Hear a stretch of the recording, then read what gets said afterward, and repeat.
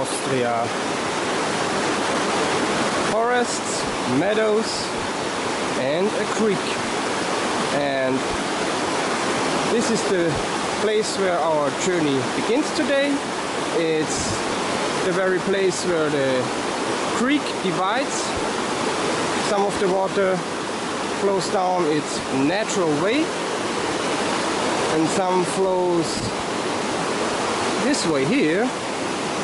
So this here is the first means to control the flow of water into our micro hydro and the water flows down this channel to another building which I will show you next.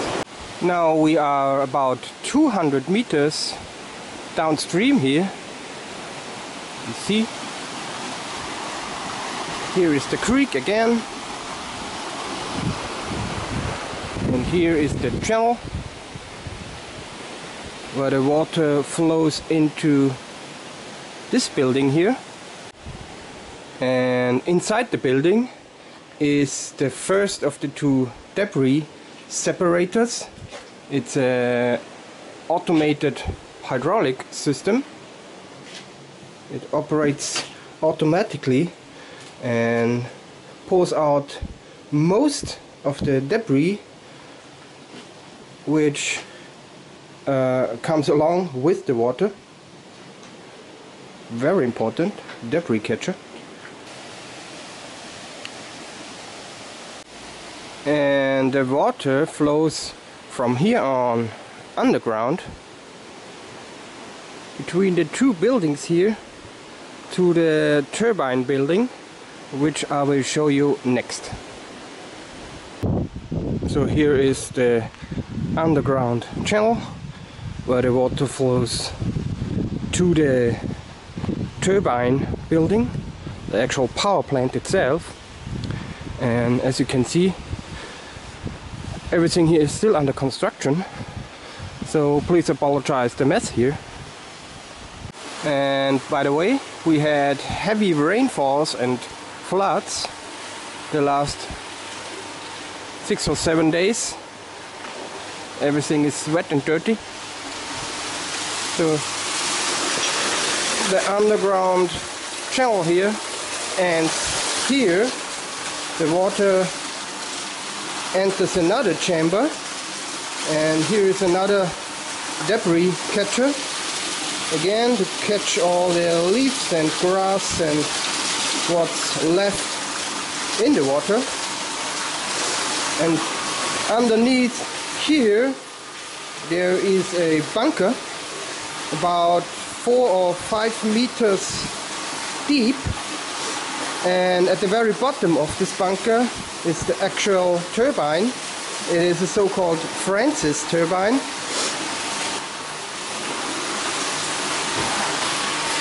Here is my homemade level sensor.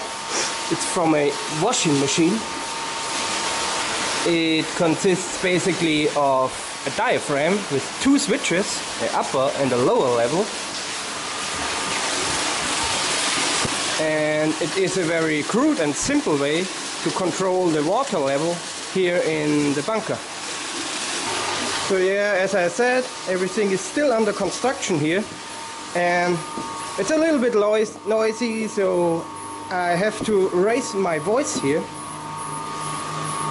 So we are inside the building now and this is the bunker and all the way down there at the very bottom of the bunker is the turbine, the Francis turbine and this lever here that you see here um, can adjust the pitch angle of the turbine depending on how much water is available in the creek. Open here. This is the flat belt. Big pulley on the turbine side. And a smaller pulley on the alternator side.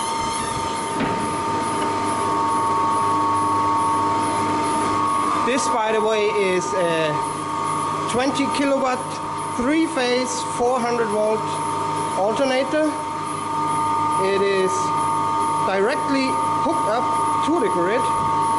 So it is a grid tie micro hydro system. Basically what it does, it pushes the energy from the alternator directly into the grid and we're getting money for the electricity.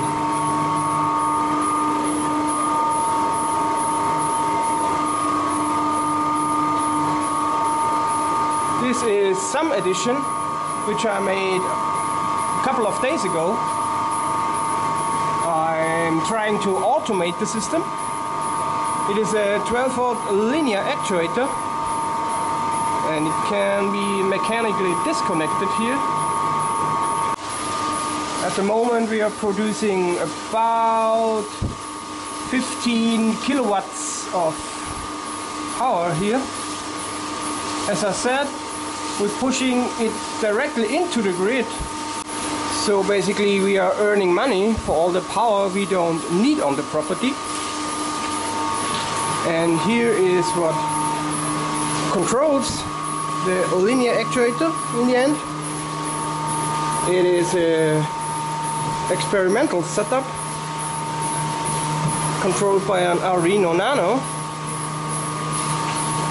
and a relay H-bridge and this here is the um, charger to top up the 12 volt battery which is under the top over there. So it is just an ordinary lead acid 12 volt battery here car battery and the reason why it needs to be battery operated in the first place is because as I said the system is uh, a grid tie system. So in case of a power outage, the turbine has to close completely. So um, the turbine does not go haywire and it has to go back into a safe state when we have a power outage which is very likely here in the woods. So that's why this system and the actuator is powered by the battery. And the battery will be keep topped up by uh, the grid via this transformer here.